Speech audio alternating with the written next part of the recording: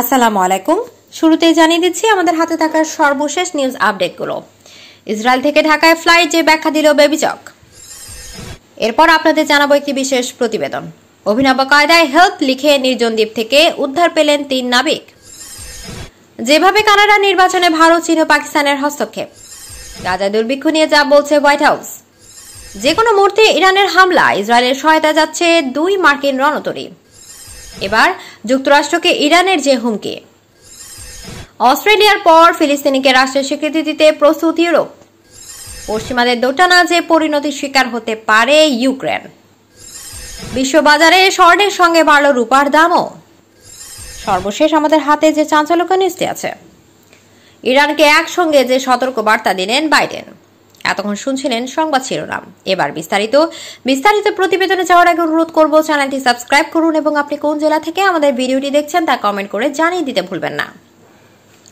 Israel থেকে ঢাকায় flight যে ব্যাখ্যা দিল বেবিচক।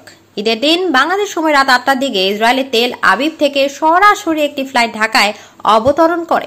বিষয়টি নিয়ে একাধারে কৌতূহল নানা প্রশ্নের জন্ম দেয়। সোশ্যাল মিডিয়ায় নানামুখী আলোচনা চলছে। অনেকেই সরকারের সমালোচনায় মুখর হন। ঘটনা দুদিন পর তেল আবিব থেকে সরাসরি ফ্লাইট অবতরণের বিষয়ে ব্যাখ্যা দিয়েছে বাংলাদেশের বেসামরিক বিমান চলাচল কর্তৃপক্ষ। বাংলাদেশের তৈরি পোশাক মধ্যপ্রাচ্য ইউরোপ নিয়ে যাওয়ার উদ্দেশ্যে গত সাত এপ্রিল একটি বিমান তেল আবিব থেকে উড্ডয়ন করে সন্ধ্যা সাতটা বাইশ মিনিটে ঢাকায় অবতরণ করে ও কার্গো নিয়ে রাত এগারোটা পঞ্চান্ন ঘটিকায় ঢাকা থেকে উড্ডয়ন করে এবং অপরটি গত এগারো এপ্রিল তারিখে রাতে ঢাকায় অবতরণ ও মধ্যরাতে সাড়ে বারোটায় কার্গো নিয়ে ঢাকা থেকে উড্ডয়ন করে।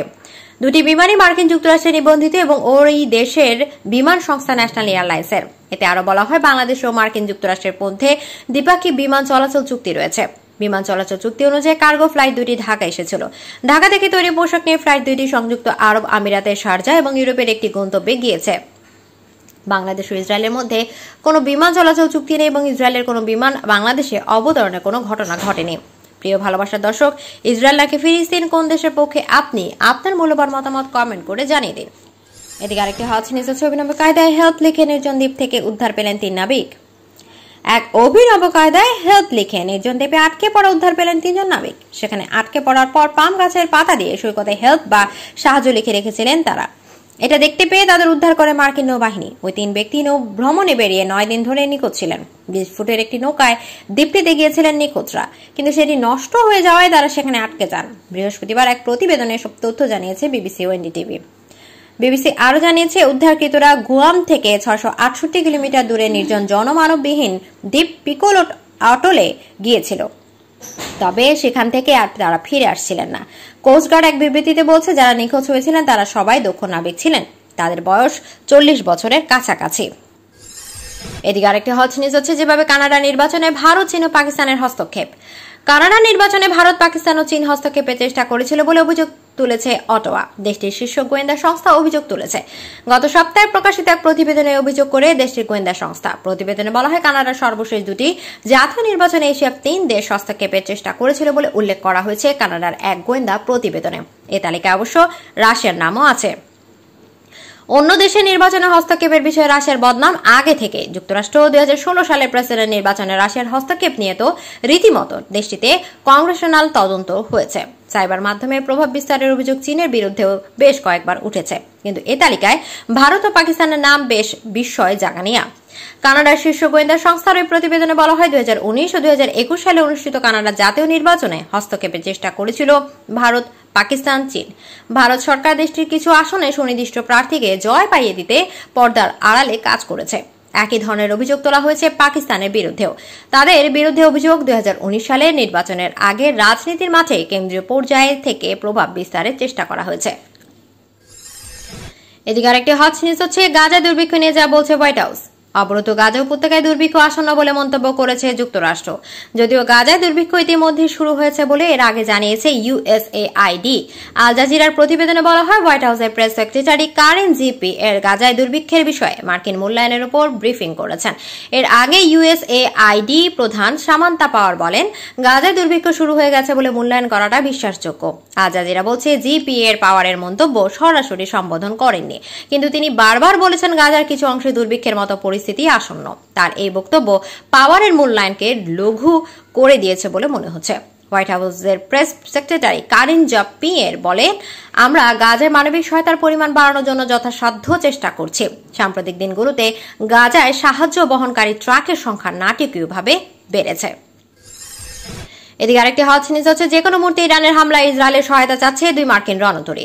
সিরিয়া ইরানি কাউন্সিলের ভবনে হামলা জেরে আগামী চব্বিশ ঘণ্টার মধ্যে ইসরায়েলে হামলা চালাতে পারে ইরান। গোয়েন্দাদের বর্ডার দিয়ে মার্কিন সংবাদ মাধ্যম ওয়াল স্ট্রিট জার্নাল ও ব্লুমবার্গের ব্লুমবার্গের প্রতিবেদনে তথ্য জানানো হয়। অপরদিকে ইসরায়েলকে সহায়তার জন্য দুটি মার্কিন রণতরী ইসরায়েলের দিকে অগ্রসর হচ্ছে। এমন পরিস্থিতিতে মার্কিন প্রেসিডেন্ট জো বাইডেন শুক্রবার সাংবাদিকদের বলেছেন, শিগগিরই হামলা চালাবে ইরান। এ সময় ইসরায়েলি হামলা না চালাতে ইরানকে সতর্ক করে দেন মার্কিন প্রেসিডেন্ট। ওয়াল স্ট্রিট জার্নাল ও ব্লুমবার্গের প্রতিবেদনে বলা হয়, যুক্তরাষ্ট্রের স্থানীয় সময় রোববার ড্রোন ও মিসাইল দিয়ে ইসরায়েলে ক্ষেপণাস্ত্র হামলা চালাতে পারে ইরান। মার্কিন গোয়েন্দা সংস্থা Defense Intelligence Agency world wide থ্রেডের প্রতিবেদনে বলা হয়, ইরানের ভূখণ্ড থেকে ইসরায়েলের মাটিতে হামলা চালানো হতে পারে। ইরানের কাছে দুই হাজার কিলোমিটার দূরে মিসাইল হামলা চালানোর সক্ষমতা আছে।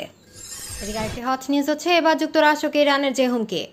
ইরান ইসরায়েল দ্বন্দ্বে যুক্তরাষ্ট্র যদি তেল আবিবের পক্ষ নেয়, তবে মধ্যপ্রাচ্যে মার্কিন ঘাঁটি ঘুরে দেবে তেহরান। একাধিক আরব দেশের মাধ্যমে ওয়াশিংটনকে বার্তা দিয়েছে তেহরান। সিরিয়ায় ইসরায়েলি হামলায় দুই শীর্ষ জেনারেল নিহত হওয়ার ঘটনার প্রতিশোধ নেওয়ার ঘোষণা দিয়েছে তেহরান। এর জবাবে মার্কিন প্রেসিডেন্ট জো বাইডেন বলেছেন, ইসরায়েলে হামলা তেল হলে হলে তেল আবিবের পাশে দাঁড়াবে ওয়াশিংটন। এরপর ইরানের পক্ষ থেকে যুক্তরাষ্ট্রকে এমন করা বার্তা দেয়া হলো। মার্কিন সংবাদ মাধ্যম এক্সিওসের এক প্রতিবেদনে বলা হয়েছে, গত সপ্তাহে ইরান আরব দেশগুলোর মাধ্যমে যুক্তরাষ্ট্রকে জানিয়েছে, ইসরায়েল ও ইরানের মধ্যকার দ্বন্দ্বে যুক্তরাষ্ট্র যোগ দিলে মধ্যপ্রাচ্যে অবস্থিত মার্কিন ঘাটিগুলোতে হামলা চালাবে তেহরান। গত এক এপ্রিল সিরিয়ার রাজধানী দামেস্কো ইরানি কাউন্সিলেটে হামলা চালায় ইসরায়েল। এতে ইরানের বিপ্লবী গার্ড বাহিনীর আল ফোর্সে দুই শীর্ষ জেনারেল সহ সব মিলিয়ে এগারো জন নিহত হয়। সেই হামলার পর থেকে ইরানের সর্বোচ্চ নেতা আয়াতুল্লাহ আলী খামিনি, দেশটির প্রেসিডেন্ট ইব্রাহিম রাইসি, পররাষ্ট্রমন্ত্রী আমির আবদুল্লাহ হিয়ান ও আইআরজিসি প্রধান সহ শীর্ষস্থানীয় নীতি নির্ধারকেরা একাধিকবার ইসরায়েলের উপর প্রতিশোধ নেওয়ার হুমকি দিয়েছে। এদিকে আরেকটি হট নিউজ হচ্ছে অস্ট্রেলিয়ার পর ফিলিস্তিনিকে রাষ্ট্রের স্বীকৃতি দিতে প্রস্তুত ইউরোপ। অস্ট্রেলিয়ার পর এবার ফিলিস্তিনিকে রাষ্ট্রের স্বীকৃতি দিতে প্রস্তুত ইউরোপীয় ইউনিয়নের সদস্য দেশ স্পেন। এ বিষয়ে স্পষ্ট ইঙ্গিত রয়েছে বলে জানিয়েছেন স্পেনের প্রধানমন্ত্রী পেদ্রো সানচেজ। প্রতিবেদনে বলা হয়েছে, ফিলিস্তিনিকে রাষ্ট্রের স্বীকৃতি দেওয়ার বিষয়ে সমর্থন আদায়ের জন্য সাম্প্রতিক কূটনীতিক প্রচারণা শুরু করেছে স্প্যানিশ প্রধানমন্ত্রী।